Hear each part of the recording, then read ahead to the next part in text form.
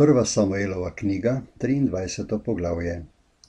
Sporoče pa Davidu, glej, filistejci se vojskujejo zoper Keilo in plenijo gumna.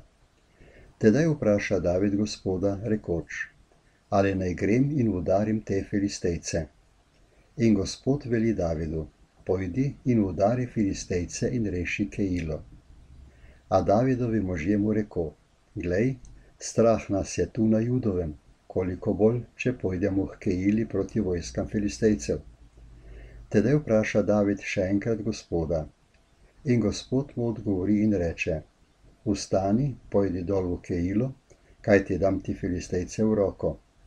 David torej gre s svojimi možmi proti Keili in se bojuje s filistejci in razžene njihovo živino ter jih porazi v velikem poboju. Tako je David rešil prebivalcev Keili. Ko pa je bežal Abijatar, Ahimelekov sin, k Davidu proti Keili, je prišel dol z naramnikom v svoji roki. Tedaj sporoče Saulu, da je David prišel v Keilo.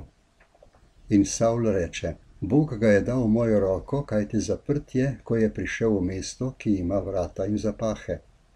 In Saul skliče vse ljudstvo v boj, da gredo dol proti Keili v blega Davida in njegove može.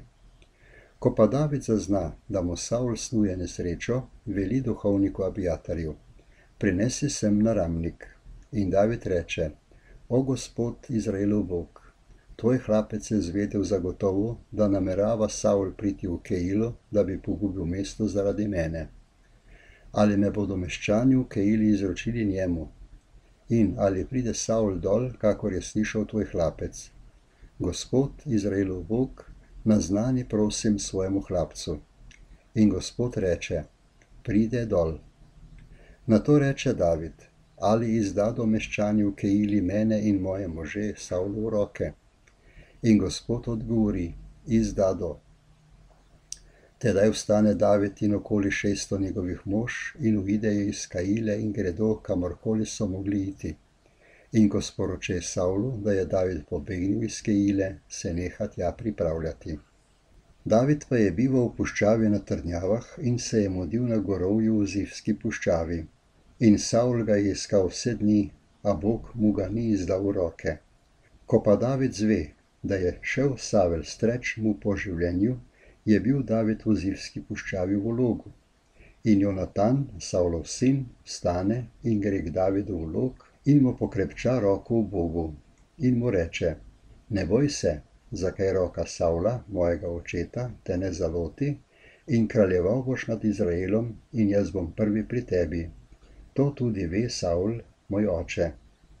In oba sta sklenila zavezo pred gospodom in David je ostal v logu, a Jonatan je šel domov.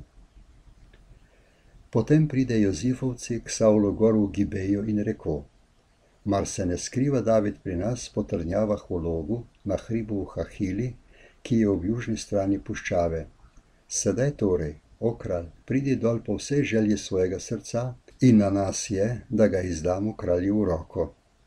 In Saul reče: Blagoslovljeni bodite od gospoda, da ste se me usmilili.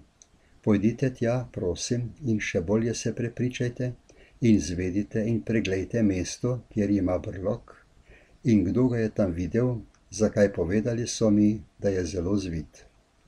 Oglejte torej in poizvedite vsa zakotja, po katerih se skriva, in spet pridite k meni, kadar boste gotovi in pojdem z vami. Če je v deželi, ga hočem iskati med vsemi judovimi tisoči. In vstanejo in gredo v ziv pred Savlom. David pa in njegovi možje so bili v Maonski puščavi v nižini ob južni strani puščave.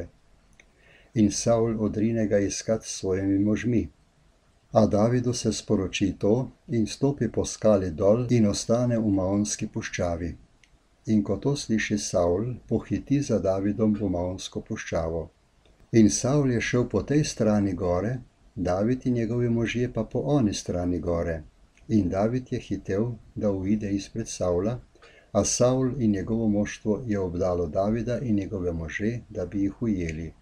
V tem dospe sev k Saulu in reče: Hiti in pridi, zakaj filistejci so napadli deželo.